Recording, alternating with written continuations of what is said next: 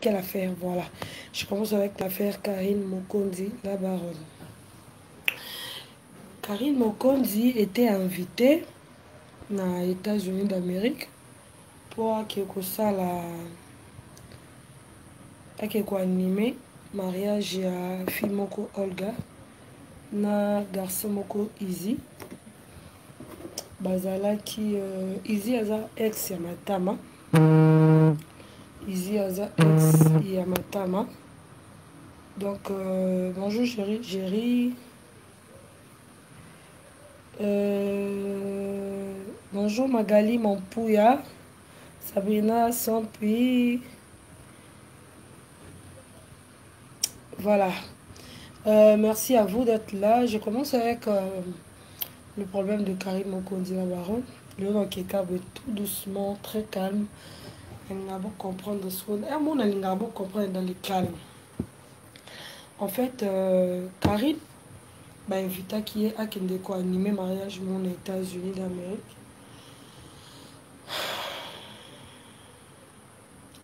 mariage wana ezalaki ya fille mo olga na garçon moko easy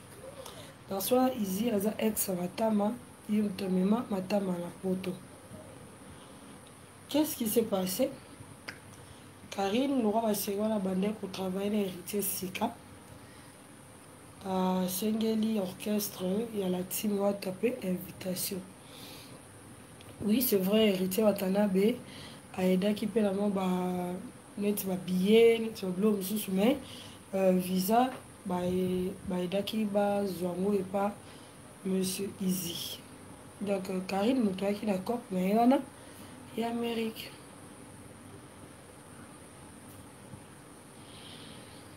Donc Karine elle a cop wana basali mpe bainvitation na motu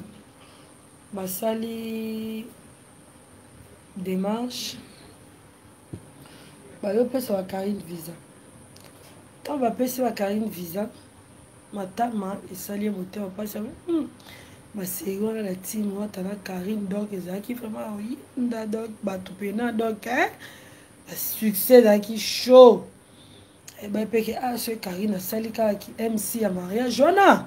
ayi alali matama abenga bato abenga baconsul ayebisi bango ke mpo karine apubliaki visa na ye na numero ya ya passeport na ye abenga ba consul abenga bato ya aéroport alobi no moto moko oya numero ne boye boye boye numero na visa eza boye numero na passeport eza boye nkombo ne karine mokonzi lima mboli aza na maladi moko très contagieuse aza maladi moko très contagieuse bakotisa te biso mwana moto wana visa akomi aéroport bazongisi baannule visa na ye tokanisela kutu bato ebele mabe pamba c'était pas eux matama lokwa mobali wana azalaki ex na ye alingaki te ke mariage wana esala scandale sikoyo ntango ake akoti ye akoti nini akoti siki moto ya mabe kuna abengi baconsul ya bino abi fi moko ya boye aza maladie moko très contagieuse et tout maladie moko ya grave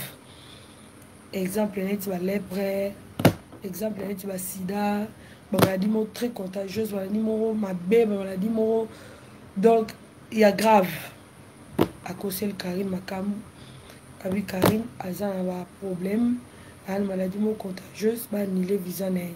nde bomonaka ba annula visa ya Karine Mokonzi Defex Clovid TV ce n'est pas une blague je suis pas en train de mentir mon Dieu m'entend parler comme preuve Karine Mokonzi matama abenga yo asexcusaki ye moto azalaka na nsima ya batu oyo ba salaka yo ba jeux wana ke okota amerique te mais ayebisa yo eloko asala yo te bon carine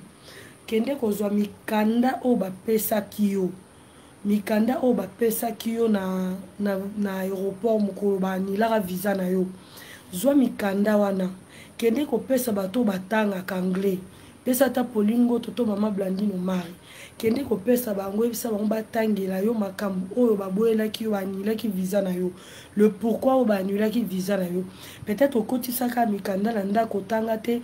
toute façon lokwa mpe eza na anglais okipa te zwa mikanda wana comme preuve ngai na yo tobeti lisolo te Natindeli yo kaka annonce na nga ndenge nao leka na 15 heures pona koloba affaire nde ba refoulaki yo na Amerique na affaire ya Mami la chatte na Caleb. Na prefere na banda na yo po yo oza camarade na nga ya yo nde eswaki nga koleka ya Mami la chatte na ya Caleb. Kende mikanda oyo ba pesaki yo tango ba, ba refoulaki yo. Hein Carine? Kende kozwa ngo. Bimisa ngo. Nga na na yo kuna te. na mpe na temps ya otindelo mikanda na fax te bimisa mikanda oyo bapesaki yo ntango barefulaki yo ebongo mpo ya nini eh, héritier akotaka erkeli akotaka bino bamisusu barefulaka bango bayebisaka bango ke bwana bamaladi moko très contagieuse bwana maladi moko très dangereuse yango moyen bokota eza te batindaka numero ya visa na yo na numero ya passeport na yo oyo publiaka kende na mikanda oyo bapesaki yo na aéroport bakomaka le pourquoi oyo baannule baannule euh, visa na yo pesa yango bato batangaka anglais tokende na translation 7 epai ya jolili atala basala translation ya mikanda wana omona nini yango baanilelaki visa na yo kende kende o oh, asalaki ba examen tout kasi te bakoti yo deya motu so akoti yo cuma ye nde ayebi mboka bien bakotaki ye donc azaki ye moko te azalaki na bonde momba oyo mpena batrasaki yango bien papa ti mundele andima yo batrasaki yango bien c'était vraiment bien établi c'était bien arrangé que non basala yango mpena bongo ke bamona ke carine aza dangereuse ana maladi moko très dangereux ke bakotisa ye te nga preuve na nga yango wana carine abimisa mikanda karine abimisa mikanda oyo bapesaka ye mokolo baanilaka invitation na ye tala niveau bato bahumilia ba karine bato bafinga karine bato baseka karine mpo na matama naleka naloba te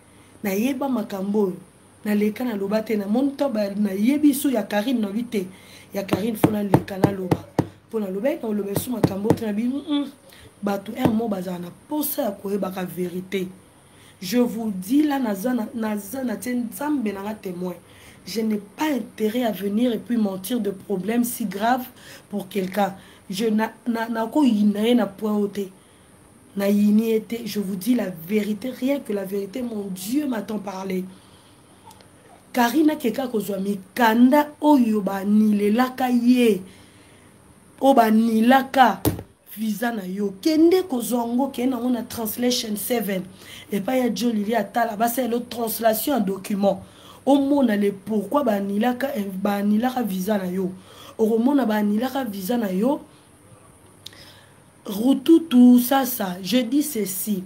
ntango karine akei états-unis d'amérique pour la première fois akendaka kosala mc ya mariage ya monsieur izi na madame olga monsieur izi aza ex ya matama ex ya matama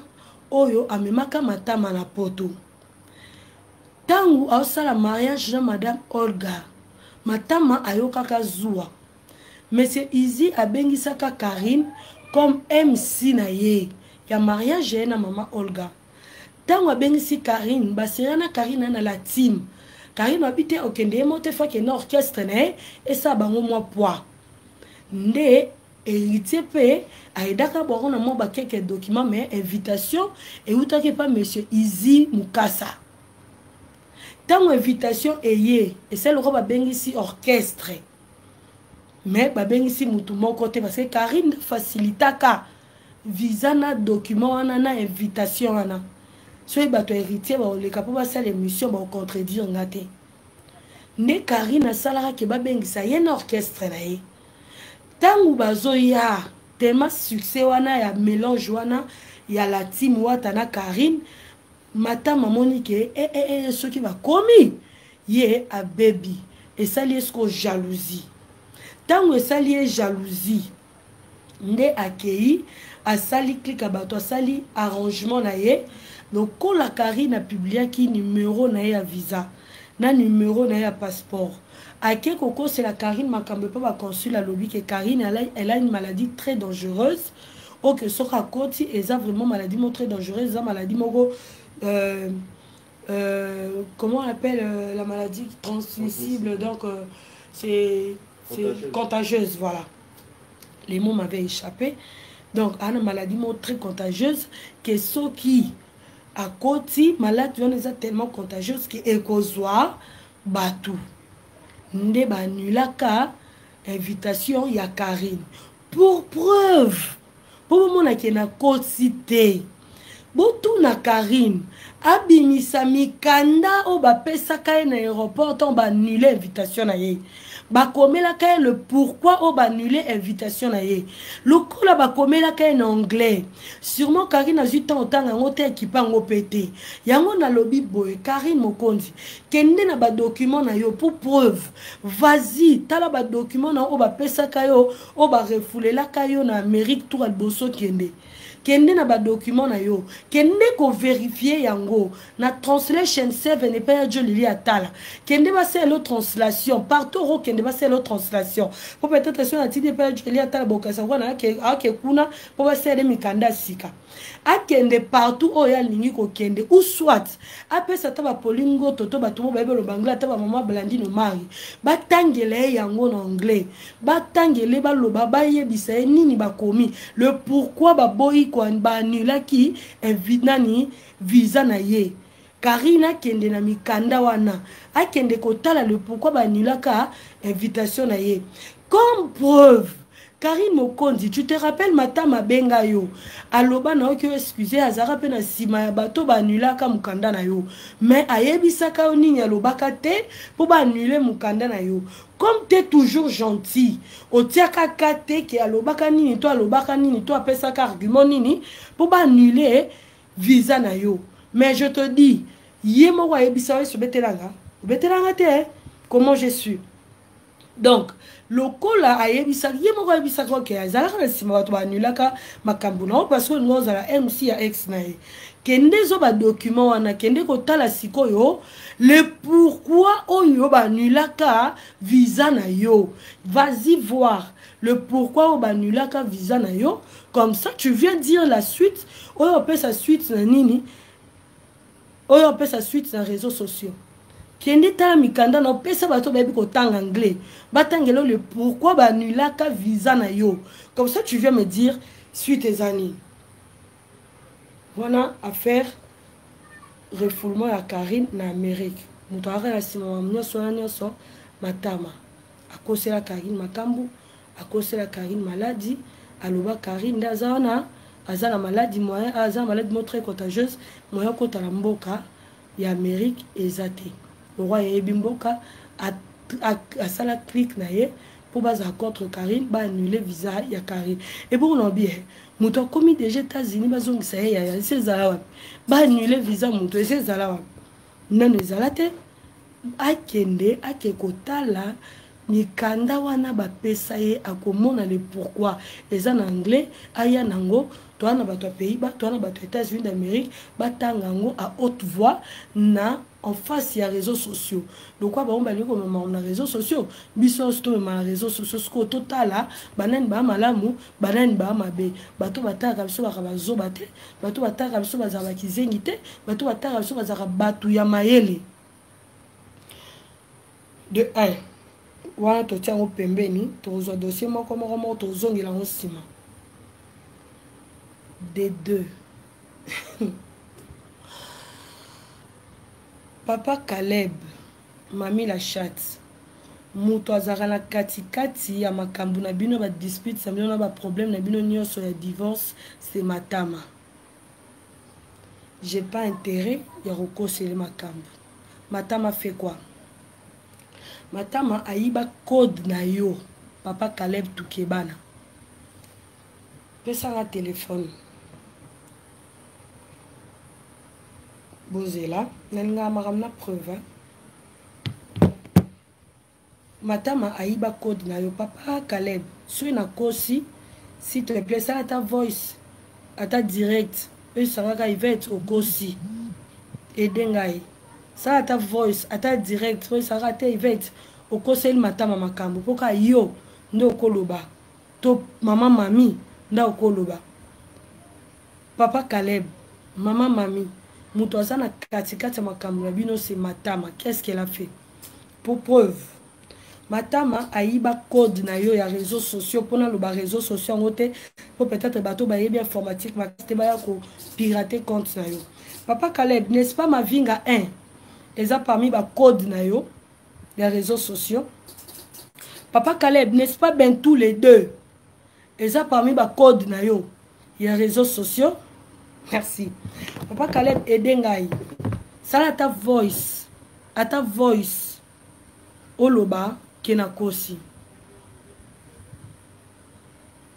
ata voice olobaki ete ivete wana okosi qu'est ce que matama fait Matama ayiba code ya papa Caleb ya telephone. Akota na ba réseaux sociaux ya papa Caleb. Atala makambo nyonso to eza intime ya papa Caleb. Akanga yango ba scream. A créa faux compte. Atindela mama mami ba scream nyonso. ya papa Caleb na ya kokosa na ya solo atindela papa Caleb atindela mama mami mama mami n'est-ce pas ba problème oyo boza nango na couple euti depuis faux compte moko boye etindela ba scream ye na ba message ya ba problème intime ya papa Caleb N'est-ce pas que ba problèmes na bino ewuti na ba messages oyo faux compte moko boye etindelaki yo? Mama mami, aide nga, sala ata voice ya une minute, ata, ata direct ya deux minutes mpo oloba soki nakosi ou pas. Matama ayiba code ya reseaux sociaux ya papa Caleb. Akota na makambo nyonso to ya papa Caleb.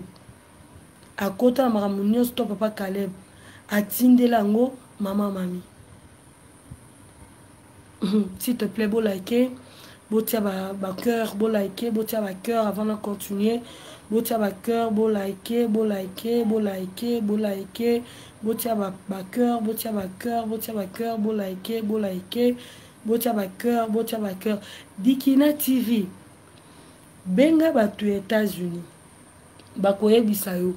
modi nini oyo asalaki mpo asala yango ngai naoyebisa oyo elekaki soko modi oyo asalaki bato kaka immigration to bato kaka oyo bazalaka kuna nde bakopesa suite ngai naoyebisa kaka oyo asalaki me napesi preuve te napesi preuve akende ye karine akende ozwa mikanda oyo bapesaka ye ya raison oyo banulelaka nini na ye visa na ye Karine aya nango alakisa bino nini le pourquoi oyo baannulaka euh, visa na ye aya nango alakisa biso le pourquoi parce que bakomaki ezalaki na anglais me bakomaki aya alakisa biso le pourquoi oyo basalaki le pourquoi ya nini ya ya, ya, ya, ya koannule invitation na ye ya, ya, ya annulation ya, ya visa na ye mundele akomaka mundele akomaka kasi kaina ake kotala ake kotala soki etombe contraire na yo nalobi nzambe ko atali ngai natindeli karine scream ya page nde naosala direct me nasoli na ye te nayebaki kobenga ngai nakangi telefone mpo nayebaki efai naleka na direct nakangi telefone mpo soki nazalaki na besoin ya charge sese tosolai na ye me ti sikoyo tosola kaka yango naboyaki tosola na ye na preferaki azela ayoka yango nzela moko na bato nyonso tu mpo ye bolingo ya bato eleki karine karine confiance ya bato eleki ye moto abengi yo ayebisi yo ke ye moto asala yo mabe mais tu as toujours tendance ya kopesa confiance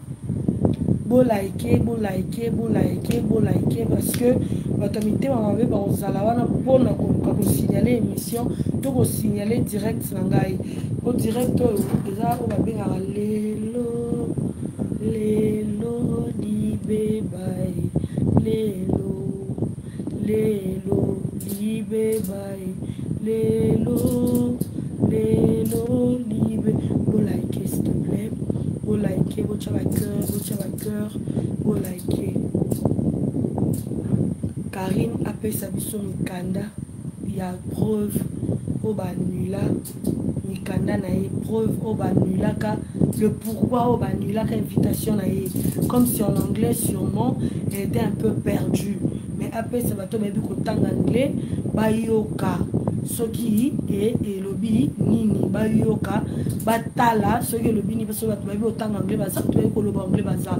bala chine oyo bayebi koloba anglais baza autorité morale oyo balobaka anglais bayebi kotanga anglais bayebi mambo anglais bazali alors que Karine nasengi mikanda mikanda oyo bapesaki yo ntango baannule ntango baannule euh, visa na yo yaka na mikanda wana totanga yango en public tona mposa kotanga mikanda wana en public yaka na yango totanga le pourquoi baannulaka eh, nani visa na yo s'il te plaît boyedenga bolike bolike bolike bolike na na besoin ba like na bino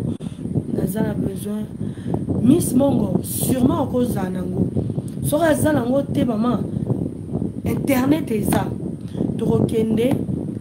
tokotala tokoluka na google toluka toluka kombona eza na bato bapesa biza na ne wana kombona eza tokende toluka le pourkui tokoluka bato bayebi informatique baza tokoluka bato bayebi informatique baza totala cause cause banulaka cause oyo banulaka visa ya carine cause oyo banulaka visa ya carine matame de don matame de don bozwa niveau ya moteur mabe yo bwani da na motu ofingi ye tu lui as traité de tout sauf rien eloko nini yango ekozanga otika vi na ye tranquille totika bato tranquille s'il te plaît bolaike bolaike bolaike bozala vraiment ebele ya kolaike like bo like bo like non asala bongo asha asala bongo mpona kaka koboya ke mariage ya mama olga na papa isi ezala na impact na états-unis vu ke ye aboyaki papa isi j'ai des choses qui m'énerve comme ceci ne m'appelez pas donc papa caleb na bandeli n'est-ce pas parmi te code ya réseaux sociaux mavinga 1 eza papa caleb n'est-ce pas parmi te code ya réseaux sociaux ben tous les deux eza mavinga 1 ben tous les deux mama mami je me trompe koboya no libala na yo te elela mpo na kobebisa mabala ya bato elela mpo na kobebisa bozela na koyamba bapele après bozela ka 2 minutes na bando yamba bapele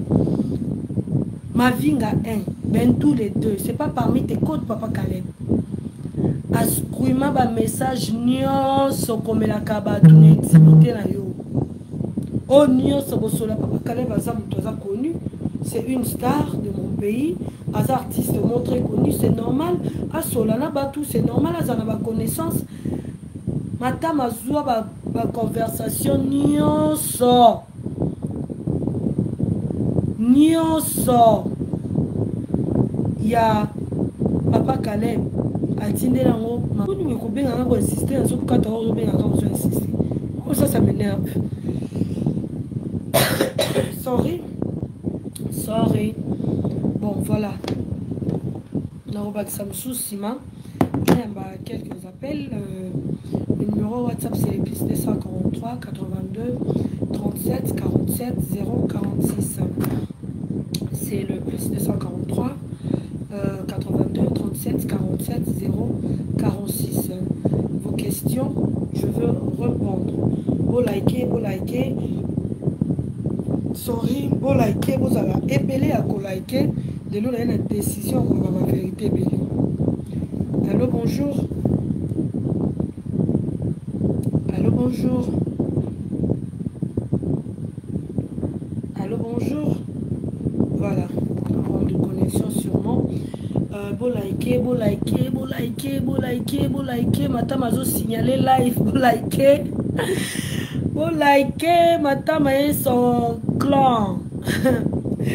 ata clan wana nyonso twala makambo na bino eza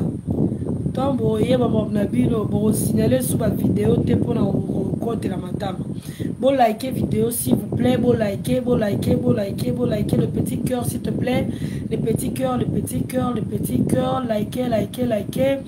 merci merci merci like like like merci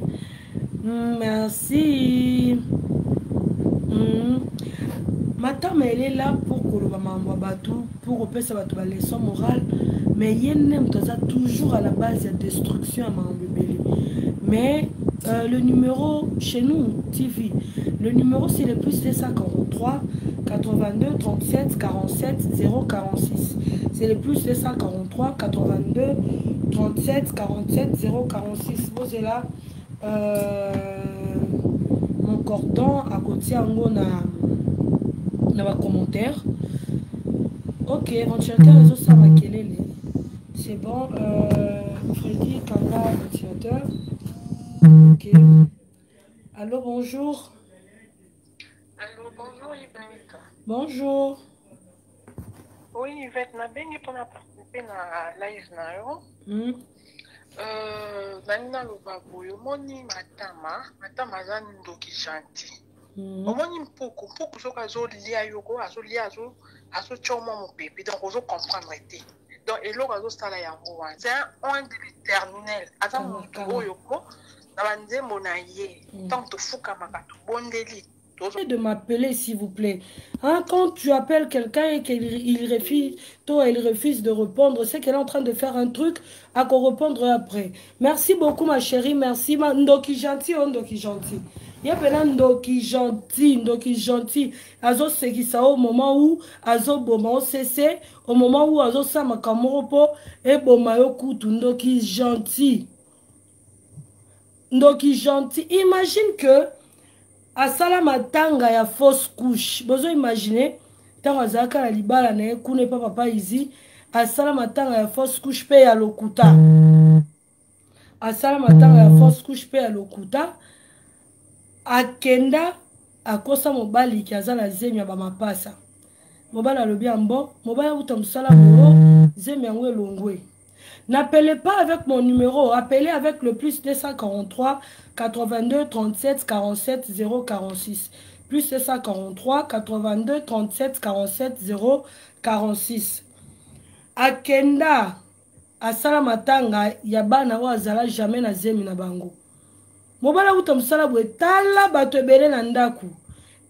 s'il vous plaît il fait chaud chez moi euh, split ça nanga ezosala te j'aurais besoin ya mopepe bosupporta ngo moke mm, mm. j'ai très chaud bosupporta oka moke s'il vous plaît parce que là naoza mal à l'aise soki nakangi yango bosupporta ngo ndambo mobali awuti mosala aye mobali awuti mosala aye akuti bato na ndako plein bato ya eglize baye akosi bango azalaki na asali fausse couche na bato mpe bandimaki ye moto asali fausse couche ozala na hôpital to ozala na ndako asala boniko oh. tu appelles on refuse tu appelles on refuse tu, tu appelles toujours oh eza nini yango oh Numéro WhatsApp, oui, et ça, numéro WhatsApp n'a peine normal. C'est le plus 243 82 37 47 046. Bozo se rappeler, ma série Moro Boasera Rambongo, le bien à la coma. Et c'est vrai que Kazaki na coma, t'es bon remarquer, bino bato poto. hopital ya bana ezala na ndenge nango ya mikolo yaka na ndenge nango alala na mbetu ya mwana ya mama elodi mama elodi soki aza ligne akoki kotemoignele nga alala na mbetu ya hopital ya mwana mama elodi asenga bambongo oyo aza na koma or c'était faux atone allo ah, bonjour bonjour Ah, naza direct d'émission ozosala en tout cas vraiment mama oza na raison makambo ozoloba bato nyonso bapesaka raison na makambo nga nayebisaka nalobaka na bato daniel aza mwana moke ye nde azokoce ye azotimbe na makambo oyo mpo ye aza mokolo ye aza mokolo soki makambo ya boye akoyebisa ete te kosala boye te mibala babatelaka bana kofinga mobali te mposo kofinga mobali bana bazalaka pitini kosala bongo te mama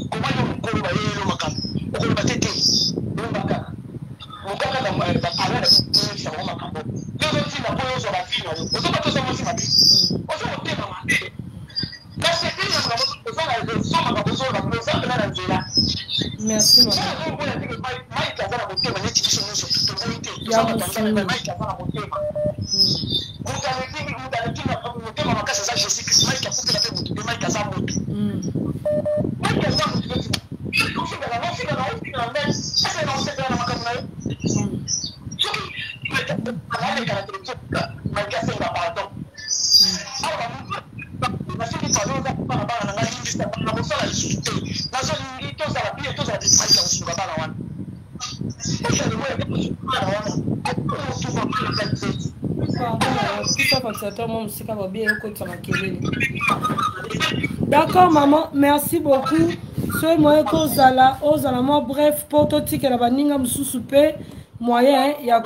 ya kobenga yango kuna se debranche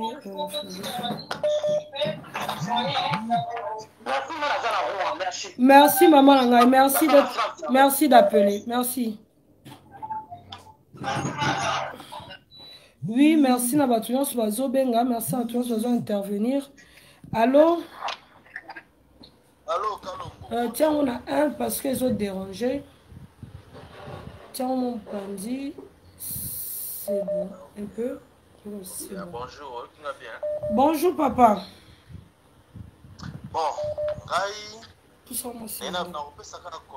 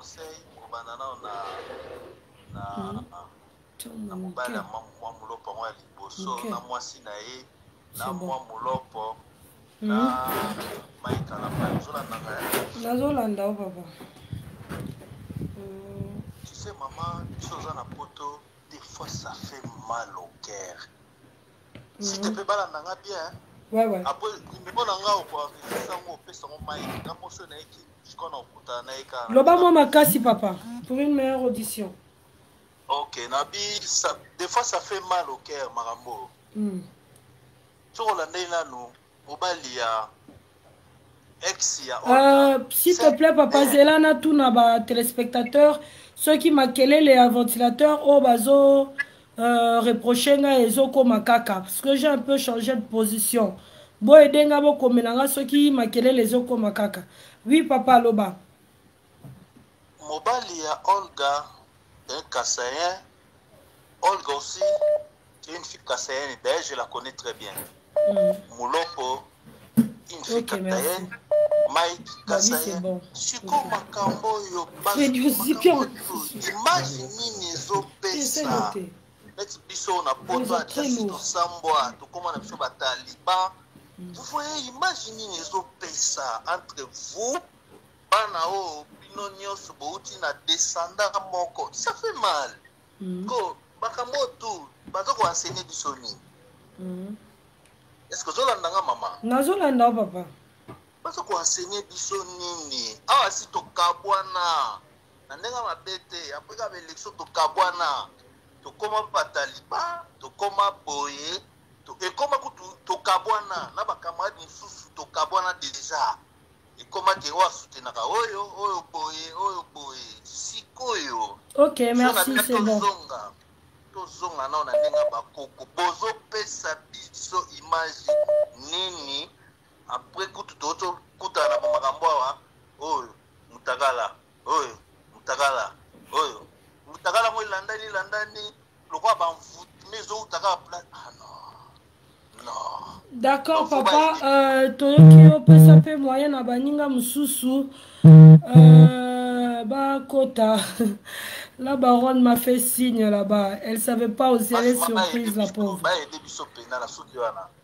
D'accord, merci papa. Pesa pe moyen na baninga mususu ba kota bo like, bo like, bo like. Euh, voilà, voilà. Ok, Karine Mokondi, c'est bon, message passé. Na yoki yango déjà. Namoni Karine, namoni, c'est bon, c'est passé. Allô? Allô, bonjour ma sœur euh, Yvette. Bonjour maman. ndenge nalobaka boye nga nafandaka na italie mm. limbisa ndeko wana pardon limbisa ye mm. limbisa ye limbisa ye nyonso tosalaka awa efutamaka awa na se limbisa ye pardon mm. ye akanisaki ndenge azoloba mabe ya, ya couple ya bato abosani mabe oyo ya loba loba loba loba loba sikoyo ya ye yango ekomobima nazosengo pardon limbisa ye master pardon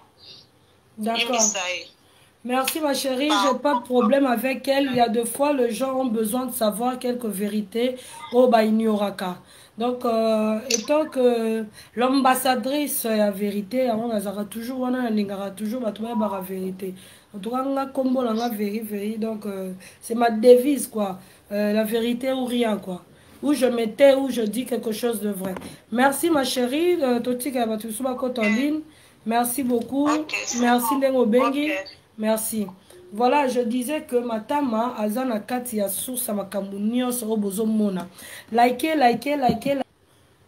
matama aza na kati ya bamakambo ebele oyo bozomona aza na se ya makambo ebele matama contredire ngai soki ye te motu ayibaka code ya papa uh, caleb tukebana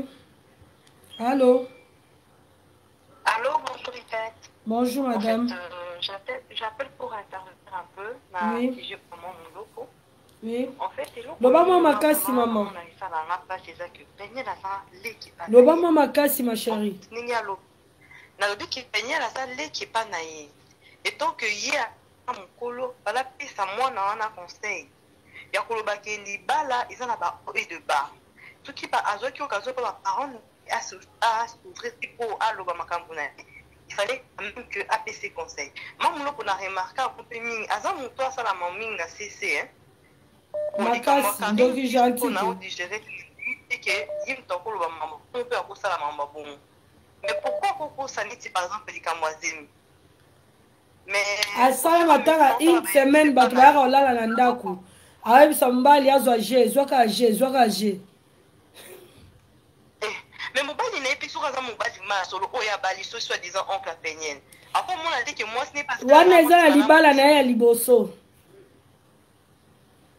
me libala na liboso eza mpe na raison kokufa mpo nga liboso ndoloba peut-être ke mobali wana azalaki mabe c'est-à-dire ye nde mamoloba aza bien te mama baverité ebele ekoyebana maleme malembe na obimisa moko moko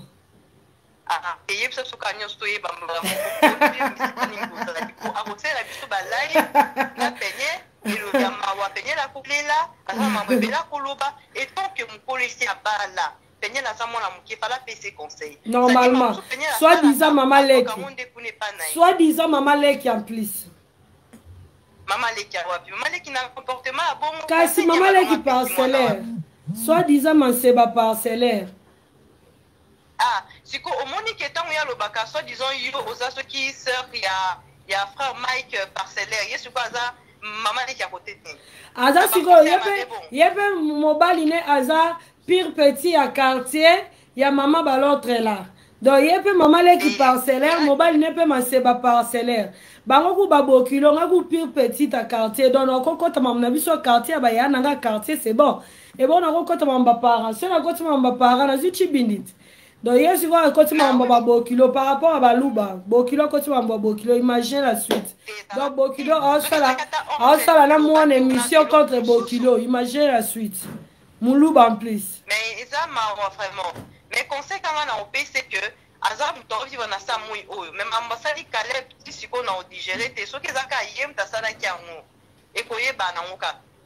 po libala bato oyo abomiaka esi ye libala ozobomisa bala coutumier akozala heureuse point d'interrogation amituna c'était ah. juste de ma part en fait merci beaucoup ma chérie c'est très gentil euh, ndenge obengi biso c'est vraiment gentil de votre part voilà euh, voilà je continue je disais quoi donc euh, papa Caleb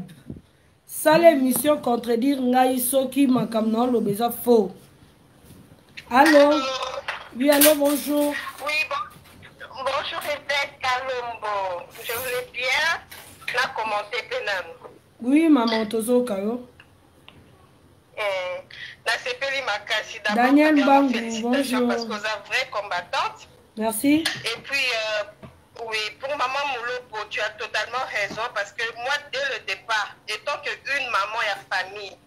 elle ne pouvait pas se comporter de la sorte. Mhm. Moi, na soki aye aza na problème a exposer pas na yo yo avant mes mamans na média parce que YouTube wana aza ni avocat aza ni juge yo kata ba problème alors yo yebi kazalaki marié officiellement azalaki likangu ya, ya, ya pasteur mike kalambai te ntango omoni ke mwana aza na babiloko ya bongo anga lekisa yango na media n'est-ce pas il faut sola nanu na baparent ya, ya mwana wana avant ke olekisa biloko wana mm. on a se permettre abimisa yango boye mpo ye azwa na ye kaka bavue nde place namonaka déjà ke ademaraka déjà mabe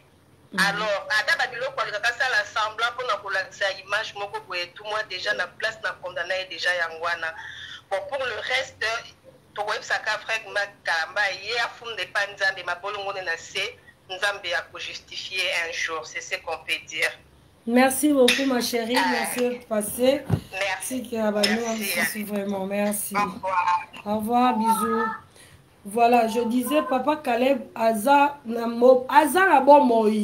Nga je battais preuve au bino bolukela ngai. Je vous ai donné tout le preuve tangible en plus. Karine Mokonzi aza na bon moi. Aza na bino kuna na poto. Aza kuna nga na Kisasa te. Karine Mokonzi elle est en vie. Batu oyo basala mambo ya visa ba ba consul mambo nyonso twana nga na nakende Amérique te. Eza te bino bato boyebi informatique koleka babiso oyo bokende bokota na nini ya informatique na bino bokota na esika euh, baboyaki kopesa baanulaki visa ya carine bokota na email na bango botuna le pourquoi aleton bapesa bino le pourquoi so otanga anglais tanga so otanga anglais te traduire sala traduction omona le pourquoi baanulaka visa ya carine mokonzi banulaka visa ya karine mokonzi parce que matama et sa bande bakendaka kofunda que karine mokonzi aza maladie moko très dangereuse moya kota ya amérique eza te que karine mokonzi aza maladie moko contagieuse moya kota ya amérique eza te c'est ce qu'elle a fait karine elle est en vie botuna ye bozwa mikanda bosala translation allez-y voir papa kaleb aza na bomoi papa kaleb aza na bomoi botuna ye soki mamna oloba eza vrai ou faux botuna ye parmi bacode na ye ya réseau sociaux mavinga 1 eza te papa kaleb aza na bomoi mami la chate aza na bomoi mama karine mama karine que je salue en passant c'était vraiment euh, mon actrice préférée vraiment à l'époque parce que moi j'aimais bien regarder euh, le truc ba théâtre surtout ba ba ba cinéma na bango ezalaka vraiment très propre botuna papa botuna papa Caleb aza na bomoi papa Caleb aza na bomoi botuna ye mavinga 1 c'est pas parmi eza parmi ba code na ye ya, ya nini ya réseaux sociaux te point d'interrogation papa Caleb aza na bomoi bolukela nga preuve nini botuna ye ben tous les deux bentule deux eza parmi bakode na ye ya réseau sociaux te papa kaleba aza na bomoi ngai nayebi yango wapi botuna ye soki parmi makambo awela na mama karine euh, euh, mama karine oyo babengaka mami la chatte nkombo na solo ezalaka mama karine botuna mama karine soki parmi makambo bawelela na papa caleb c'est pas que faux compte moko boye etindela ye baconversation ya mobali na ye na bato nyonso asolola na bango point d'interrogation botuna mama mami c'est pas que parmi baproblème oyo bawelela na mobali na ye parmi baproblème oyo bawelela na mobali na ye caleb parmi bamambo ekabola bango c'est pas que makambo oyo ya faux compte wana etindelaka ye makambo nyonso to asolola na bato nyonso to na ayebi na oyo ayebi te eza na kati c'est pas, c'est pas parmi mais mama mami elle est en vie la mama meilleure page yo moto ozalaka wana mpo na kopublie yo moto ozalaka wana ozalaka toujours na katikati mpo na kopublie koyeba mamni eleko kotela motu to toujours tous les deux côté masolo bana kini bino bato bopubliaka boke kotuna papa kale boke kotuna mama mama mami baza na bomoi botuna bango oui allo bonjour bonjour bonjour Yvette bonjour yeah, oza bien naza bien mama ok mama naza na live hein? oui merci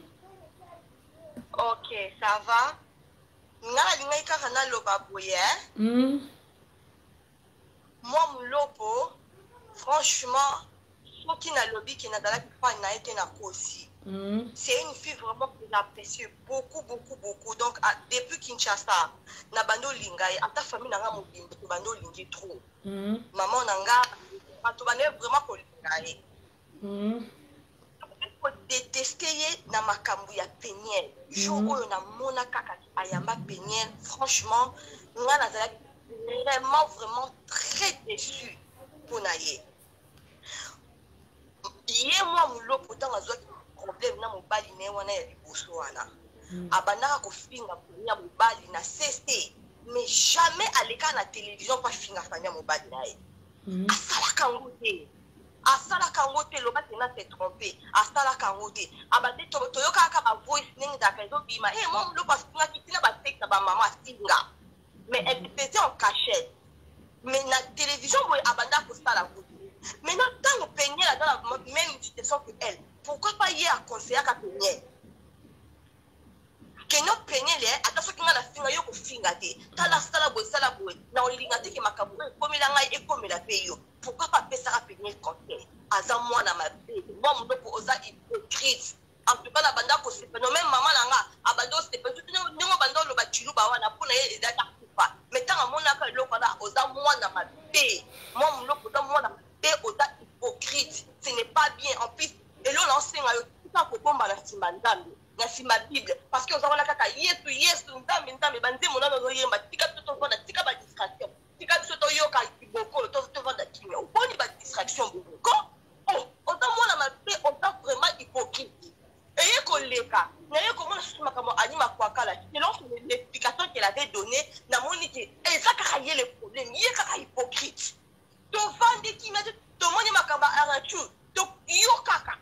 tovandi to esili te okotimaka mapende tosili te ibetika lombo donc yoka bato nyonso olaka yo moto ya moto malamu bango baa bato mabe ce n'est pas gentil eza mabe eza mabe tika makambo wana tika kobomba na nsima nzambe tika kobomba na oba nzambe parce que ozosambela nzambe verite te elobata elobata mama kalunga nzambe yango aka ya bino moko nzambe aka bokomisa ye prive nzambe aka ya bato nyonso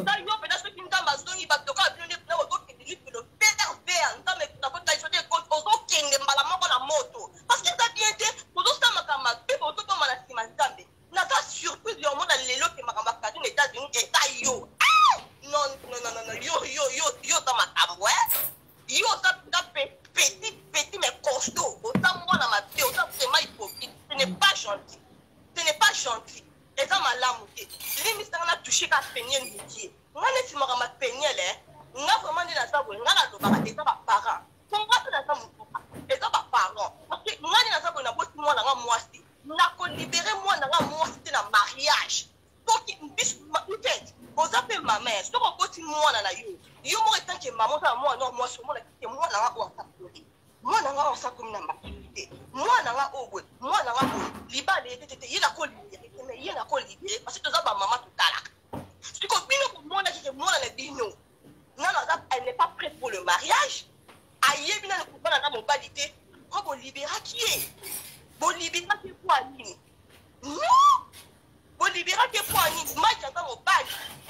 Merci, cœur sensible. Et puis, et puis, euh, yo peniel koleka na télévision tika nga mpo na ngai tika loko ya mai kalambay tranquille tika omoni mai kalambay ako kobala ata basi 35 ata sta atangi bango na ndako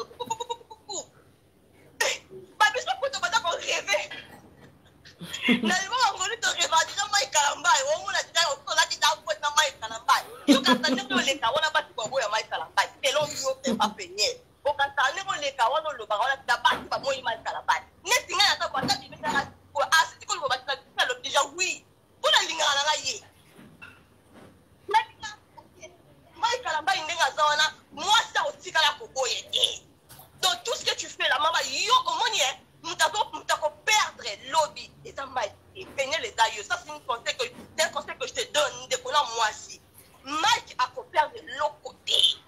mike lelo soki abimi na famille wise bokonde bala mwana bino baoboya te